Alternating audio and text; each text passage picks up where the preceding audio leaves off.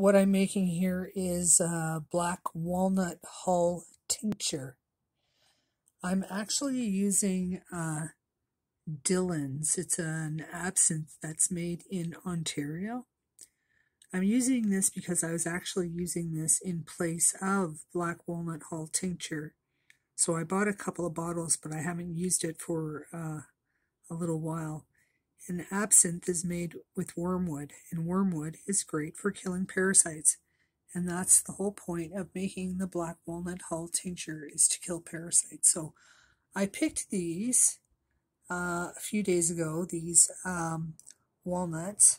As you can see, the six dark ones are the ones that I peeled a couple of hours ago. And uh, look how dark this is right now. I just did this one, so it's just starting to go dark. You can see it at the bottom, it's a lot darker than it is at the top, which is closer to the color of the absinthe.